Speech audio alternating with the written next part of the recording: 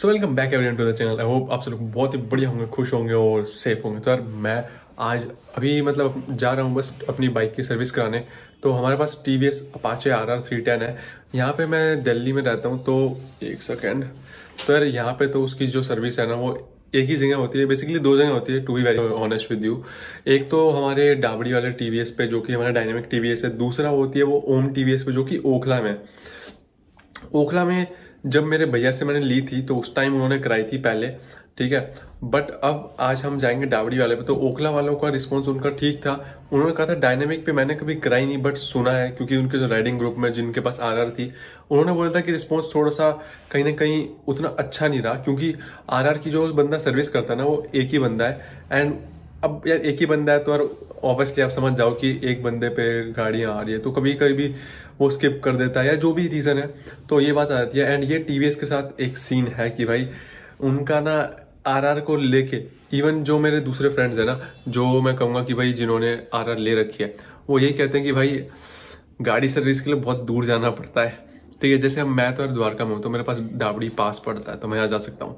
अगर कोई दूसरा बंदा या फिर कोई मैं कहूँगा फरीदाबाद, वरीदाबाद में तो उसको ओखला आना पड़ेगा। तो वो बात पड़ जाती है तो कहीं ना कहीं मेरे तो घर के पास है बट हर बंदे के घर के पास नहीं होता।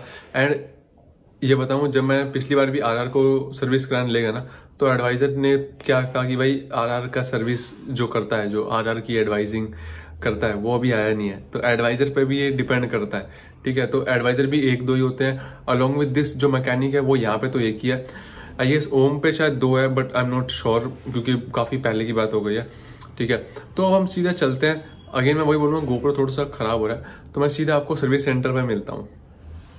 तो यार सर्विस सेंटर पहुँच गए हैं बट क्या पता चला ना कि आर के जो मैकेनिक है, वो आए नहीं है। वेट करते हैं पाँच दस minute. Along with this R K जो एडवाइज़र है ना, वो भी नहीं आया तो उनका भी थोड़ा वेट करेंगे। एंड फिर मैंने थोड़ी सी बाइक की फ़ोटोज़ वीडियोज़ ली, क्योंकि ये लोग कहते हैं कि यार आप खुद ही ले लो, कल को कोई इशू आ जाए तो हमें मत बोलना स्क्रैच व्रैच एंड ऑल मीटर देख लिया मैंने। एंड अब भाई आ गए हैं।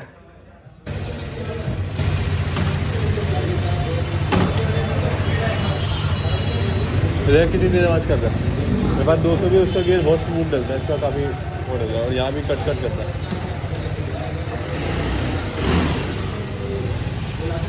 तो यार भाई को मैंने इशू बता दिया है, वो बोले कि पहले हम बेसिक सर्विसिंग करते हैं, उसमें कुछ निकलता है तो ठीक है, नहीं तो और एक्स्ट्रा करते हैं, वो टेस्ट ड्राइव के लिए ले गए हैं, वो बताएँगे अभी आने के बाद। तो भाई आ गए हैं सर्विस के लिए लगाते हैं बाइक को। तो बाइक लग गई है सर्विस पे। एंड अब इसके बेसिकली पार्ट्स खोलेंगे, क्योंकि हर एक चीज़ के लिए पूरी बॉडी उतरती है इस बाइक की। तो यहाँ पे इवन आपको कुछ भी करना है तो बॉडी खोलनी पड़ेगी, पूरी की पूरी। तो यहाँ पे भाई बाइक देखो अच्छी सी नहीं लग रही। यहाँ देखो एक एक पार्ट इसका खुलेगा। तो यार ये देखो, मैंने जैसे बताया था टैंक खुल गया सीट खुल गई ए टू जेड पार्ट खुल गए हैं, सारे प्लास्टिक के पार्ट हैं इसके। इसीलिए इस गाड़ी में ज़्यादा वाइब्रेशन आती है।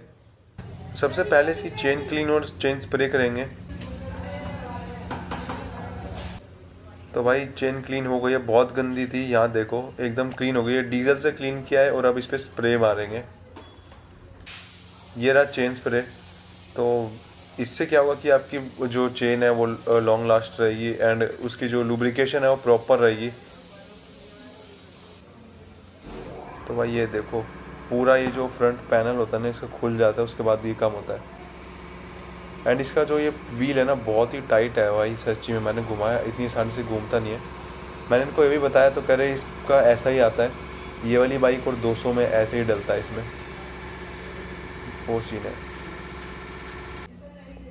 तो फ़िलहाल ये वाला तो हो गया है। अब मैं आपको एक चीज़ दिखाता हूँ, इन्होंने जब वॉश करी ना तो क्या किया है? भाई प्रेशर वाटर था तो मारा यहाँ पे। तो ये देखो, पूरा का पूरा जो मेरे फिन्स थे ना फिन्स मतलब रेडिएटर ग्रिल के फिंस थोड़े से बेंड हो गए, आपको दिख रहा होगा।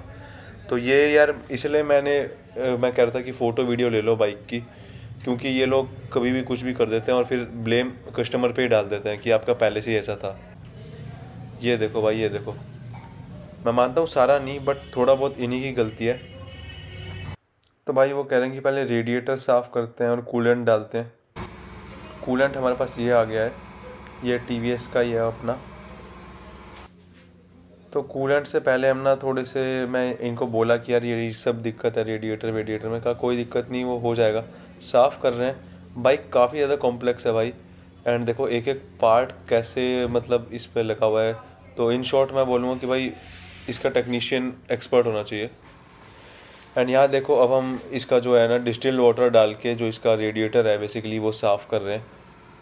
और मैं कहूँगा कि कूलेंट का पूरा खाली कर दिया है। मतलब नीचे अगर आप देखोगे तो नीचे से पूरा कूलेंट निकल गया डिस्टिल वाटर से, अब उसको साफ़ करेंगे।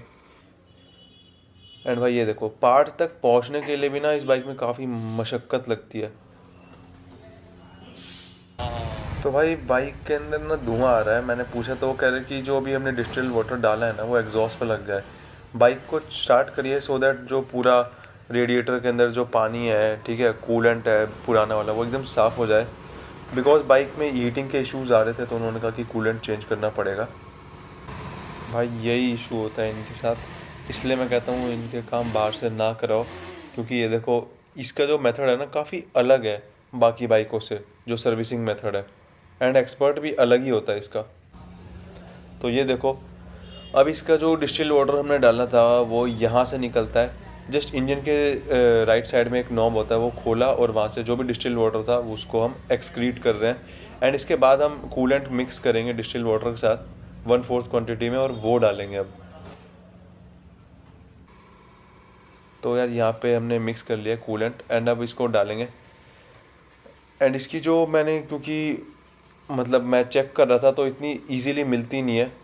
इसलिए जो टेक्नीशियन है ना, यहाँ पे यही भैया करते हैं और इनके पास जब भी टाइम होता है, तभी लानी पड़ती है। वो बात हो जाती है भाई इस बाइक के साथ, क्योंकि नॉर्मल से ना काफ़ी अलग है like R T R two hundred कोई भी छेड़ लेता है बट ये वाली बाइक हर बंदा नहीं छेड़ पाता एंड एक्सपर्ट नहीं होता तो आपकी बाइक के साथ। तो मैं कहता आपकी बाइक के साथ ना कुछ मिसहैप ना हो जाए, क्योंकि टेक्नीशियन का तो क्या है कि यार वो बोल दे कि हाँ मैं कर दूँगा बट एकदम ही कॉम्प्लेक्स बाइक रहती है ये वाली। एंड अब बारी आ जाती है ब्रेक पैड क्लीनिंग की, क्योंकि पीछे वाले ब्रेक पैड मेरे ख़राबी हो रहे हैं, मेरे को बीस हज़ार रुपये वापस सर्विस करानी है। तो मैं पीछे वाले ब्रेक पैड अभी नहीं क्लीन करा रहा, मैंने बोल दिया कि कोई नहीं, वो मैं रिप्लेस करा दूँगा। बट आगे वाले मेरे चल जाएँगे तो उसको क्लीन कराएँगे। आप ये देखो, इसके अंदर बाइबर के ब्रेक पैड कैलीपर है, जो कि बाइबर मीन्स बाय ब्रेम्बो तो ब्रेम्बो के ब्रेक पैड आपको देखने को मिल जाते हैं। फ्रंट की कॉस्ट बताऊँ तो छब्बीस सौ का था एंड बैक की बताऊँ तो बारह सौ रुपये का था। विच इंडिकेट्स कि भाई है गाड़ी में। एंड जो टूल्स देख रहे हो ना, वो भी मुझे काफ़ी बढ़िया लगे। इस बाइक के लिए ही इन्होंने एक अलग से टूल किट रखी हुई है विच इंडिकेट कि भाई बाइक क्या चीज़ है। हालाँकि मैं ये पहली सर्विस में भी आपको दिखाया था but due to some reason मैं पब्लिश नहीं कर पाया। बट भाई आज देखो, इसके ब्रेक पैड मैं आपको दिखाता हूँ, वो इसके ब्रेक पैड निकालेंगे, यहीं से। तो भाई ये रहे इसके ब्रेक पैड्स आप चेक कर सकते हो, क्योंकि इसके ब्रेक पैड भी ना घिस के थोड़े से क्लीन हो जाएँगे। उसके बाद कहीं ना कहीं ब्रेकिंग में भी थोड़ी सी एफिशिएंसी आ जाएगी, क्योंकि काफ़ी डस्ट जम जाता है एंड इससे डिस्क खराब हो जाती है। तो दोनों ब्रेक पैड अभी क्लीन कर दिए हैं। पीछे के मैं अभी नहीं करवा रहा हूँ। अब बारी आ जाती है भाई अपने चेन को अलाइन करने की। बेसिकली जो हमारा स्विंग आम है, उसको अलाइन करने की। इन गाड़ियों के अंदर क्या होता है, यहाँ आप ये देखो, यहाँ पे क्योंकि चेन बेल्ट के ऊपर फिट होती है तो बेल्ट की भी यहाँ एक रबड़ वबड़ होती है, भैया वो डाल रहे हैं। उनका ये भी ख़राब हो जाती है अलाइनमेंट का ही पार्ट है ये। तो इंजन ऑयल तो चेंज हो गया है ऑयल फ़िल्टर के लिए भैया कह रहे हैं कि है नहीं एंड बाकी सारा काम हो गया है। तो ऑयल फ़िल्टर इन्होंने कहा कि जब आपका सर्विस बीस हज़ार होगी, इस बार मैंने सर्विस थोड़ी जल्दी करा ली थी।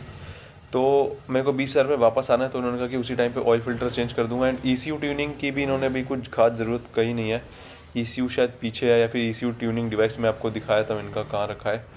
तो वो भी हम चेक करते हैं ये रहा इनका ईसीयू ट्यूनिंग डिवाइस तो गाइज़ फ़िलहाल तो सर्विस हो गई है। कुछ काम रह गए हैं, जो उन्होंने कहा है कि नेक्स्ट हम ट्वेंटी थाउज़ेंड वाली सर्विस में करेंगे। तो दैट्स ऑल तो ये बात हो जाती है पार्ट्स और सर्विस की। तो आई होप कि यार आपके मैंने most of the doubts clear किए होंगे, जिसके अंदर आपको ये जानना था कि भाई 200 और आर आर थ्री टेन में कितना डिफरेंस है। आज इतना ही रखते हैं यार। आई होप आपके डाउट क्लियर हो गए। मिलेंगे अगली वीडियो में। टिल से पावर टेक केयर